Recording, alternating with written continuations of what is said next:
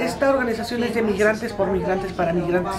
El 20 de enero estaremos, a, a, estaremos pacíficamente apoyando en el Ángel de la Independencia a las 11 de la mañana una propuesta generada desde Chicago, Illinois, un día sin migrantes. ¿Qué significa un día sin migrantes? Eh, Donald Trump no nos quiere, vamos a hacer realidad un día, un día sin migrantes.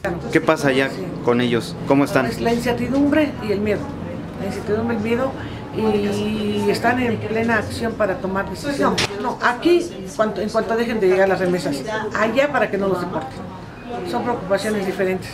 Una propuesta, dos mil millones que se, que se van a obtener con la cancelación del edificio del INE, pues apliquémoslos a esos programas de protección a los migrantes en los Estados Unidos.